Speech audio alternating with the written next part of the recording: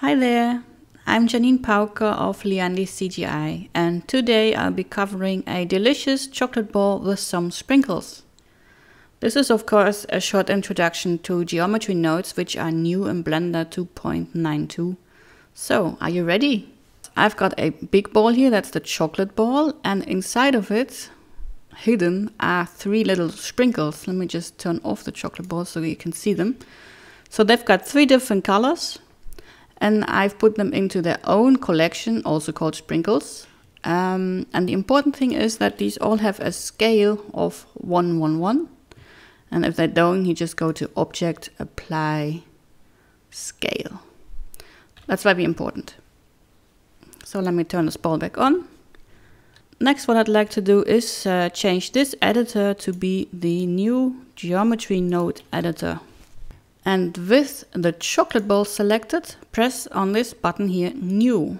This adds a new geometry nodes modifier to the chocolate ball. And the first thing we're going to need is a point distribute node. So press shift A and let's just use the search function point distribute. Plop that in here.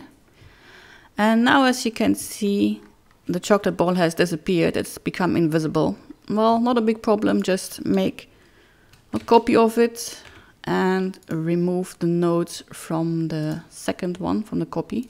So this one we'll just be using for rendering. And the first one is the one with the nodes on it, the geometry nodes.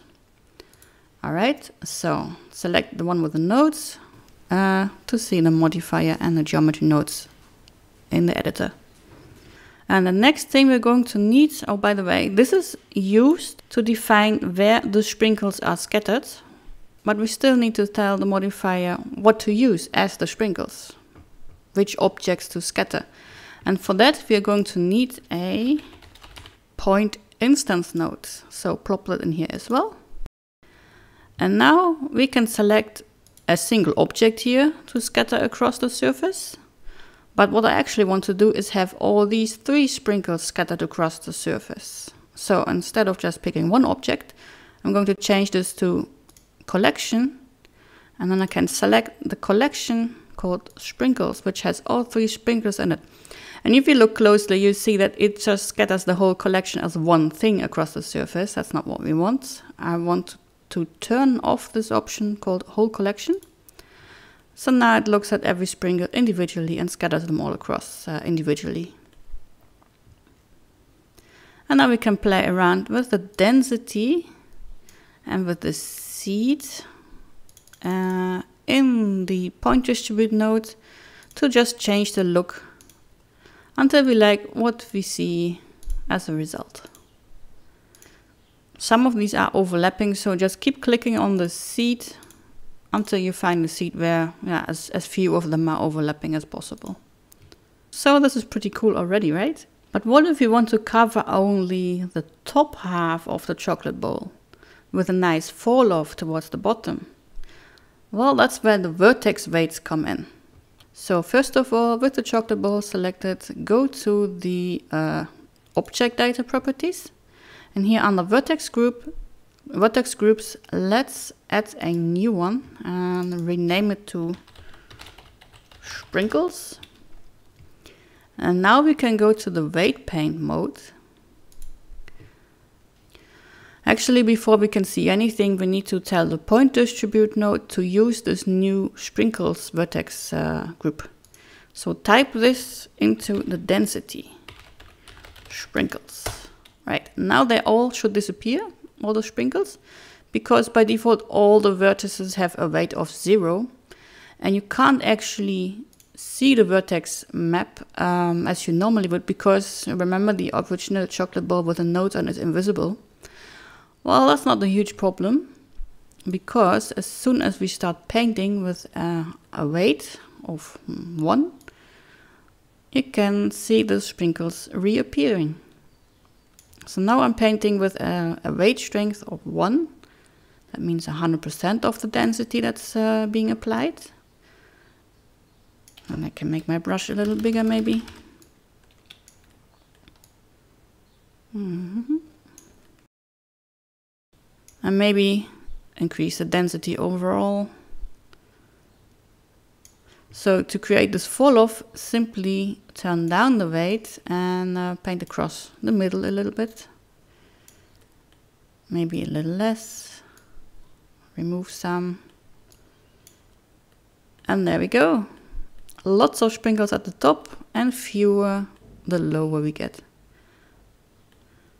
Alright, let's go back to object mode. Now, what if we also want to randomize the scale of the sprinkles to have them all be different sizes as well, to make it even more interesting? For that we need one more additional node, so press Shift A and look for the attribute randomize node. Actually, it's already in the list. Don't even need to type anything in. So plop that in between the other two nodes And the trick here is to simply type in the attribute that you want to randomize, in this case, scale. And there we go. Now we've randomized the scale of all the sprinkles ranging from 0 to 1. And of course, we probably don't want really tiny sprinkles, so I'm going to set the min to 0.5 to uh, limit the minimum scale a bit. Now we can maybe increase the density a little bit to compensate for the scale. How cool is that? And by the way, if you are not scattering something uh, perfectly round like this, but maybe uh, irregularly shaped rocks across a landscape, you might want to randomize the rotation of everything as well. Uh, what you can do in that case is just Shift D to duplicate this node, and instead of scale, type in rotation. That's another attribute that you can randomize like this. And let me just turn on the wireframe view and zoom in on a couple sprinkles. So now if I change the min or the max, I can uh, define how random I want them rotated, how randomly. So that would be really cool for rocks across the landscape, for example. It would be kind of silly if they were rotated all the same way, right? And there we go. I'll uh, put the final project file in the comments for you to download.